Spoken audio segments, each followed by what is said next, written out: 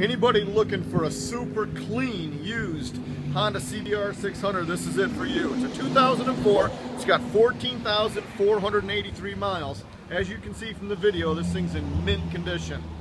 It's got all the extras. Has a fender eliminator kit, frame sliders, tinted windshield, flush mount front turn signals, and the Jardine stainless steel exhaust makes this 600R sound as cool as it looks. It's a great bike for $89 a month.